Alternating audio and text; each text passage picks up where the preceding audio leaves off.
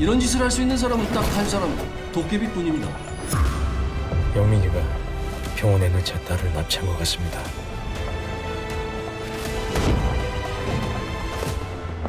오늘 도깨비 잡습니다. 네 자신한테 한번 물어봐. 인간이 변할 수 있는지 없는지. 지금부터 도깨비가 뭔지 보여줄게.